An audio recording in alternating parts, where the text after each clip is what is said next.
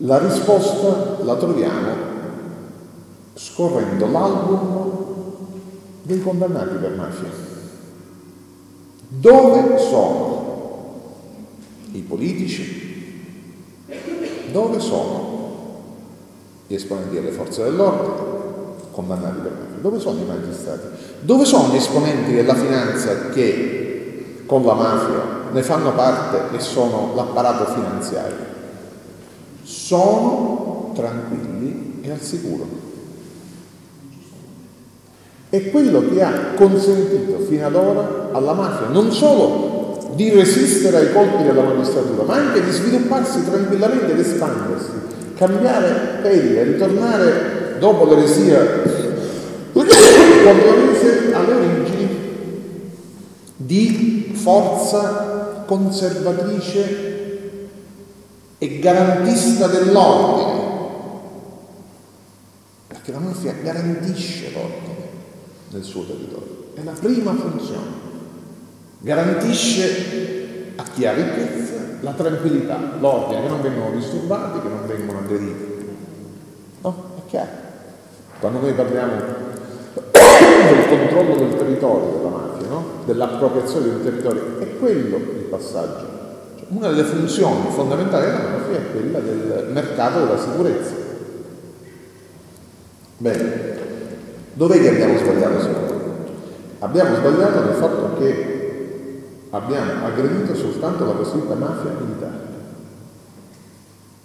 Non siamo riusciti ad alzare il tiro. Ogni volta che abbiamo cercato, che la magistratura ha cercato di alzare il tiro, è stata sbaragliata dalla mafia più forte, quella che noi vediamo in Parlamento, dobbiamo avere il coraggio di dire le cose come stanno.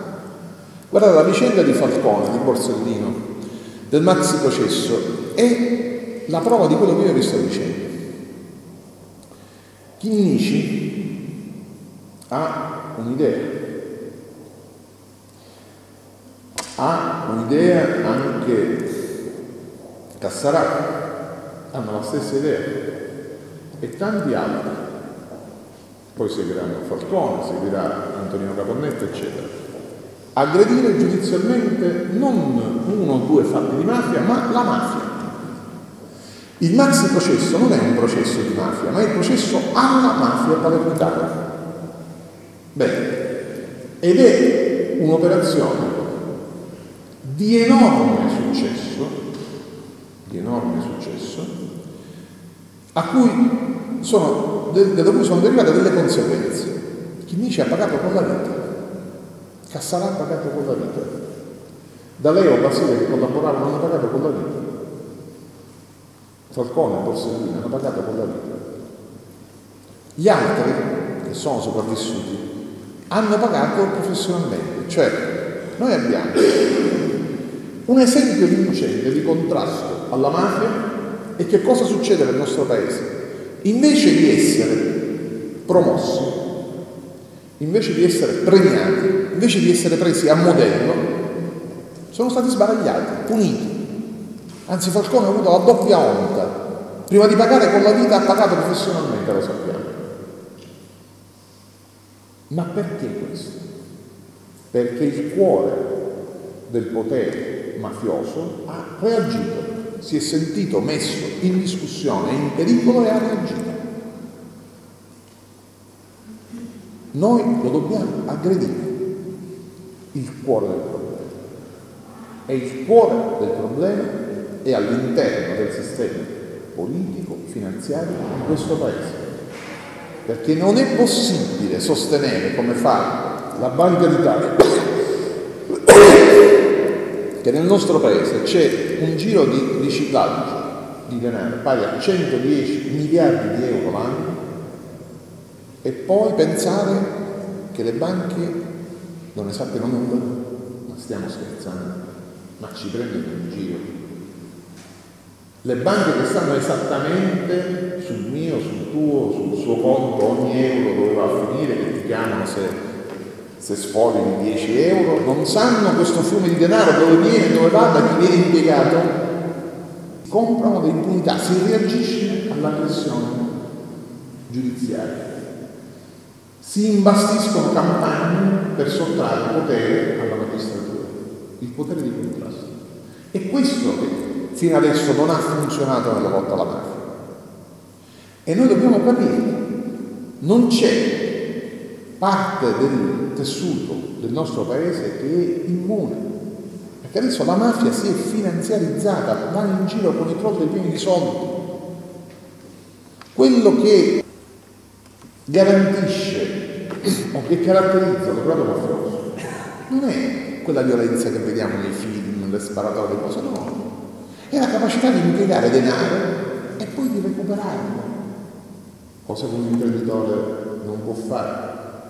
No? Noi abbiamo letto le storie di San Marino, cioè quell'imprenditore che doveva dare milioni di euro ai suoi soci mafiosi, lo hanno preso per i piedi e lo hanno scotolato dal quarto piano di un palazzo, no? facendogli vedere arrivi al sotto la prossima notte.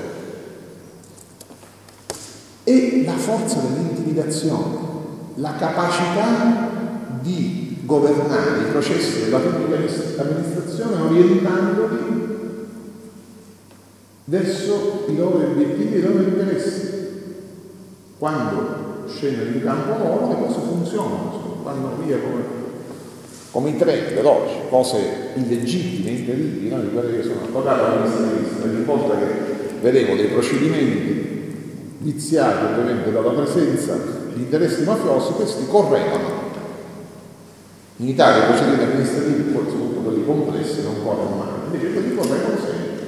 C'è questa capacità perché lavorano con la politica e non ne potrebbero fare a meno e sono protetti da quella politica.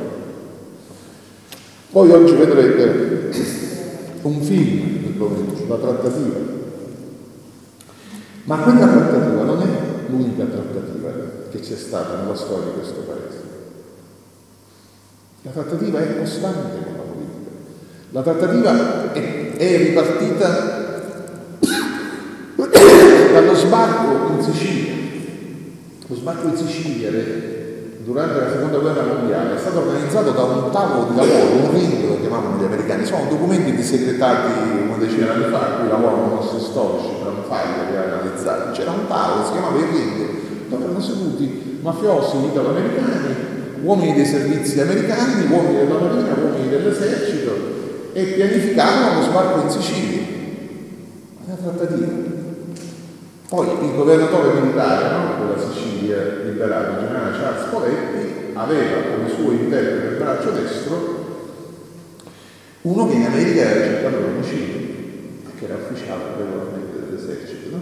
era un mafioso italo-americano e che ovviamente orientava subito no?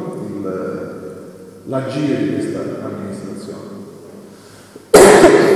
E dopo le prime elezioni libere in Sicilia, dove aveva vinto, voi pensate, il fronte popolare, nel 46-47, la reazione fu violentissima. A Palermo si riunirono politici, mafiosi, ecclesiastici e dissero no, il fronte popolare non può vincere. E allora il capo della mafia, il primo capo della mafia del dopoguerra, era un medico non era uno con la coppola con lo pare, era il medico condotto di Corleone, il dottore Navarro. Che cosa fa il dottore Navarro dopo questo accordo palermitano? Fonda la democrazia cristiana a Corleone, dove si scrivono in blocco tutti i picciotti delle cose mafiose. Che ci vuole? Che mi dite di storia? Navarra è quello che poi viene ucciso da tre corleonesi, Luciano Leggio, due giovani aitanti che avrebbero fatto strada, Provenzano e, e Totorina per prendere il suo posto, no? un semplice passaggio di consegna come si fa da E poi abbiamo l'ascesa del, potere di questi corionesi, di queste armi. Questa è la storia, non è che la trattativa è stata inventata nel 92. La trattativa è iniziata dal, dal Regno d'Italia, cioè nei momenti di passaggio la mafia si è sempre riposizionata rispetto ai nuovi poteri. Devo dire solo in un momento la mafia fu colta di sorpresa, durante l'ascesa del fascismo. Perché? Almeno la mafia siciliana. perché il fascismo non era fenomeno del sud, era un fenomeno del centro, del nord, e probabilmente fu sottovalutato e pagarono un prezzo, sempre restando il fatto che il livello elevatissimo, quindi possidenti, nobili, politici siciliani che della facevano parte, loro riuscirono subito a riciclarsi contro il fascismo, ma la parte militare, la parte operativa venne presa in contropiede e come sappiamo subì una, un, una sconfitta da questo. Peraltro c'era anche un'altra questione che poneva dei problemi, il monopolio della violenza. Sui territori dove sono presenti le mafie, la mafia non tollera che altri abbiano il monopolio della violenza. Il fascismo nel monopolio della violenza aveva no, la loro chiave di agire politica, quindi lo scontro era quasi inevitabile comunque. Bene. Alla caduta del fascismo, i mafiosi, i mafiosi dissero mai più un errore come quello e subito andarono a trattare, a prendere no, le misure al nuovo Stato italiano. Nel 92 ci sono, c'è il passaggio dalla prima repubblica alla seconda, che è stato governato con le bombe, con le trattative, spazzando via chi come Borsellino si sarebbe messo sicuramente di traverso, perché questi meccanismi li conosceva da, da una no? Chiaro, questa è la chiave. Perché vi dico questo? Perché quando noi vediamo un'operazione come quella di Roma, Mafia Capitale, noi vediamo un'operazione in cui non ci sono dei non ci sono grandi delitti di sangue, ma è un'operazione di mafia, perché che cosa succede? Nelle intercettazioni, no? Buzzi e Carminati appena vedono arrivare a Roma il procuratore Pignatone, la prima cosa che dicono da veri mafiosi, a Roma non si deve più sparare, che è l'opposto di quello che le terze linee mafiose ci vengono a dire in televisione, in televisione voi lo sapete, quando vedete quello che dice, ah siccome non, non ci sono, dove sono i morti non c'è la mafia, ecco, quello è un esponente della mafia di altissimo livello che sta cercando di coprire la mafia romana. Perché la mafia invece ha operato esattamente come ha fatto sempre. A, a, Roma non si deve sparare perché se no attiriamo l'attenzione di Pignatone che non mafia ne capisci. Poi però sapete cosa succede? Ma qualcuno gli spara. Vero, gli a qualcuno che era contrario, cioè, che, che, voleva contrario, perché prima che arrivasse il Vignatore, ma a Roma ammazzavano uno o due persone a settimana, più o meno, questo era il ridicolo. Poi dissero no, non attiviamo l'attenzione. Qualcuno che non era contrario aveva conto di me, insomma, si fa conto loro e poi hanno continuato fino a che. E poi dopo il Vignatone, cioè perché poi le disgrazie alla mafia non è che arrivano da solo, arriviamo noi, si preoccupano, no? Ma perché? sono preoccupati dal Movimento 5 Stelle. Perché noi siamo altri rispetto alla politica di questo Paese. Noi siamo altro radicalmente e irriducibilmente avversari di questo sistema. Loro sanno che con noi non c'è trattativa, non c'è margine, c'è scontro. E avete visto cosa si è scatenato contro il Movimento 5 Stelle dal febbraio 2013, l'avete visto? Un'aggressione senza precedenti nei paesi occidentali, senza precedenti, ma nemmeno col Partito Comunista negli anni 60 c'era questo martellamento tutto il santo giorno di tutti i mass media. Martellamento contro chi? Contro chi è all'opposizione? Ma in quale paese democratico la stampa presuntamente attacca l'opposizione incisa il governo? Nella Corea del Nord? Non so, dove, dove, dove siamo? Cioè, questa è la spia di un sistema malato, una spia di un sistema gravemente malato, di cui noi o ci rendiamo conto subito che è un sistema articolato, che ha i propri riferimenti dentro le strutture finanziarie, nei doppio petti, nei gestati dalle banche, che sanno bene con che hanno a che fare e ne sono organici, ma ci sono anche dentro la redazione dei giornali, ci sono anche dentro il governo e le segreterie dei partiti, dentro il Parlamento. Noi li vediamo operare, noi stiamo affrontando una questione surreale in Senato la norma anticorruzione. Ora io vorrei capire, la corruzione è uno di quei fenomeni cosiddetti prepolitici, no? su cui le politiche non si devono dividere. Chi è, che, è favorevole alla corruzione? Qualcuno alza la mano? Nessuno alza la mano. Quindi, norme che dovrebbero basare. Dico, possiamo dividerci se fare il rigassificatore o, fa, o fare un'altra cosa, cioè, ci sono delle linee ideologiche legittime, no? Ma sul contrastare la corruzione mai può opporsi? Invece, ferocemente con le unghie e con i denti, hanno fatto di tutto per 740 giorni per impedire che si discutesse e alla fine in 740 giorni cosa hanno portato in aula? Un provvedimento che è poca roba rispetto a quello della rispetto al disegno di legge grazie, nemmeno un disegno di legge del Movimento 5 Stelle. Guardate, noi appena abbiamo letto quel disegno di legge, perfetto, voi pensate, un disegno di legge che si intitola lotta alla corruzione e che ha ovviamente dentro di sé che cosa?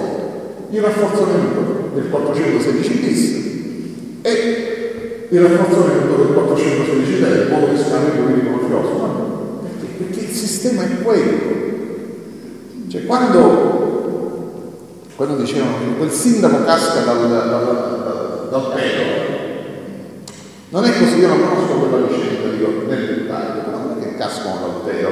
Quando un sistema è corrotto, il mafioso trova un'autostrada un vero, perché sa che con quei politici, con quel sistema, ha un grado comune con cui si possono intendere e dal quale quelli non si possono sottrarre. Un corrotto non si va alle forze dell'ordine quando arriva un mafioso che lo prende nel suo ambito, non lo può fare. Ci sono delle autostrade che hanno fatto entrare nel sistema. E allora che cosa hanno fatto in 740 giorni? Hanno cercato di svuotare tutto. La vicenda del 416 era voto di scambio politico mafioso. Voi pensate, era una norma che è stata introdotta in fretta e furia nel 92 dopo una volta di Falcone, per decreto legge, una norma che c'era. Si chiedeva di rafforzarla.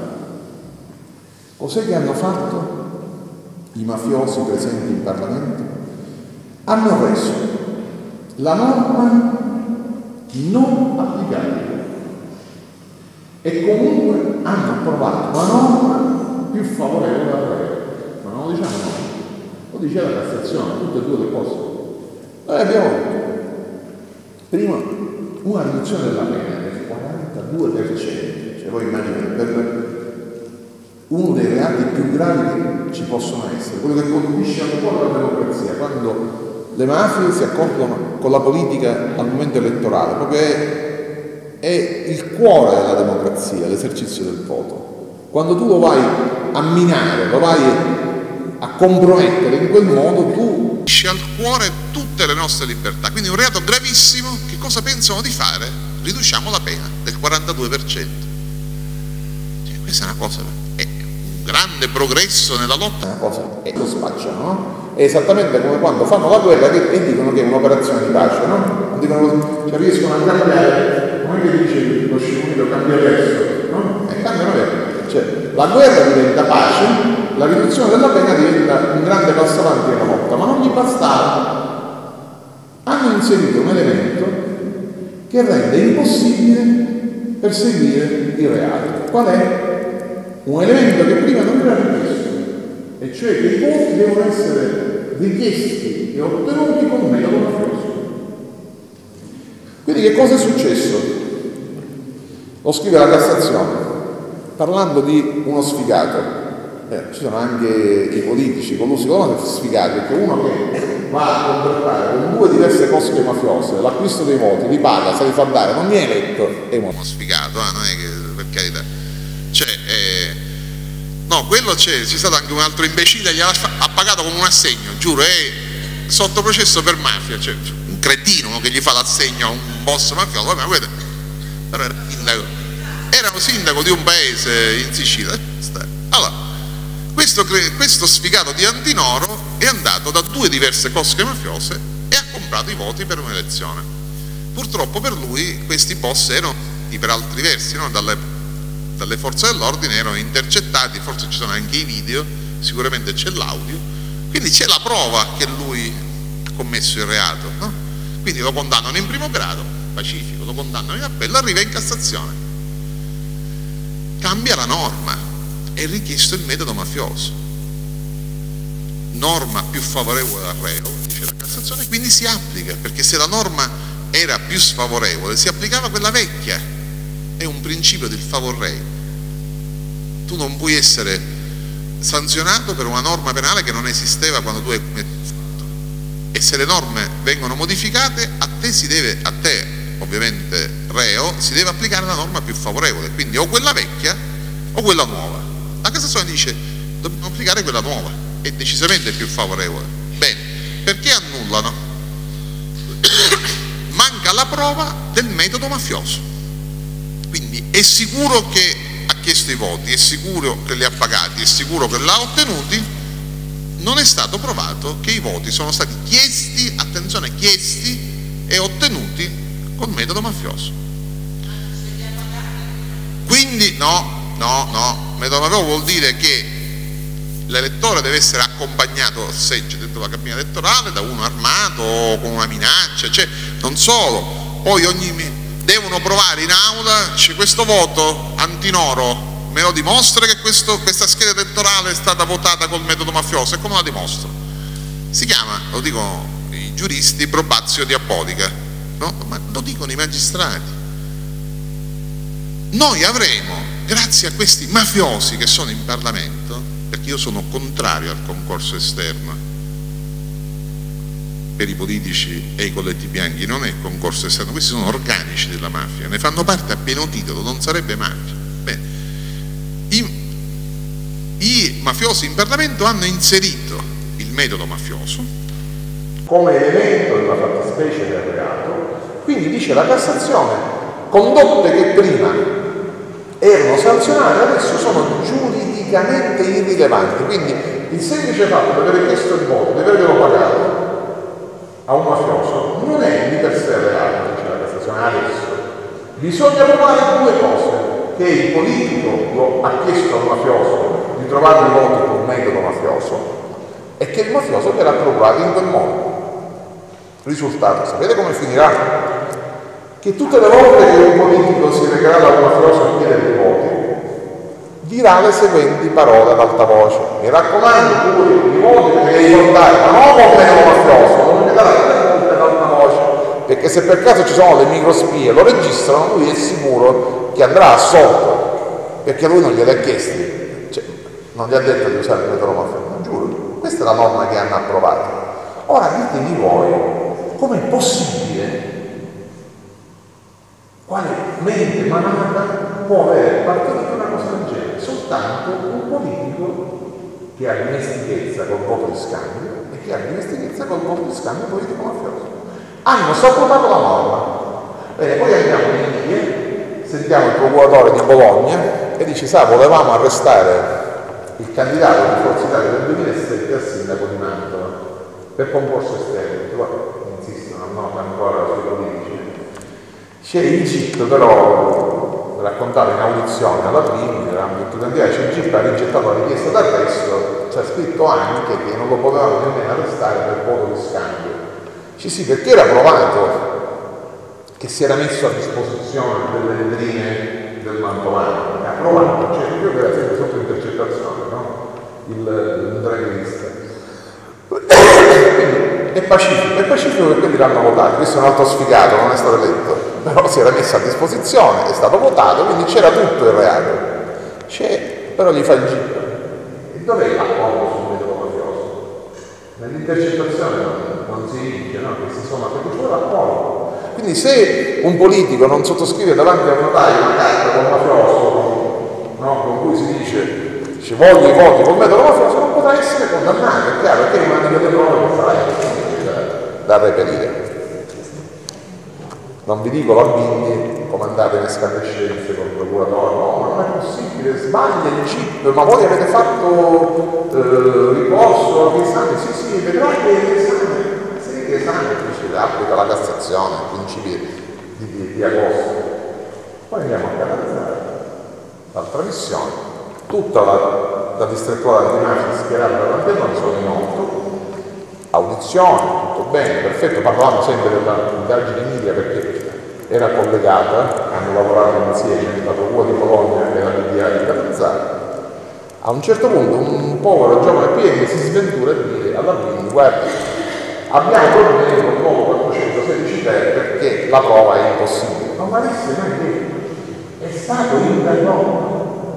La Bindi ha cercato di non farlo proseguire.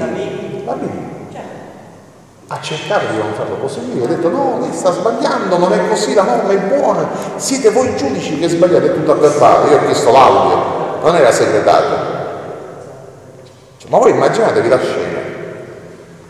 Dopo che la Bindi cerca di azzittire questo PM intervengono i suoi colleghi, tutti, a cercare di sostenerlo ovviamente perché la scena è dir poco imbarazzante la Bindi che perde il controllo diventa paonazza, non è così, no, guardi Presidente fa il favore senza voler fare polemica, ce l'ha detto la Cassazione che è così, che la Cassazione sbaglia, siete solare, voi dovete applicare la norma, voi immaginate.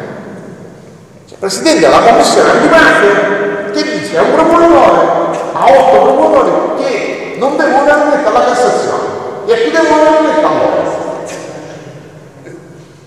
Cioè, se non fosse gravissimo sarebbe da ridere, ma è gravissimo, ma è, sembra surreale, sembra una cosa, vi giuro ci sono i verbali, noi abbiamo chiesto l'audio perché la drammaticità di quella funzione si coglie dall'audio, non, non si coglierà dalle parole scritte, perché erano esterefatti, un'ora sono stati a questionare.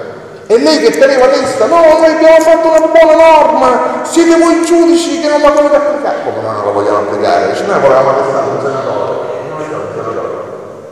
E, e, non ci riusciamo, così diceva la, procura di Catania. Allora, noi dobbiamo intervenire schiacciando la testa del serpente, che è a Roma, se no la coda si riformerà sempre, sempre, sempre, si svilupperà e diventerà sempre più forte. Perché ogni volta che noi tagliamo la coda del serpente, questo serpente diventa più forte, più grande e si allunga e sta stritolando il nostro bellissimo paese. Grazie.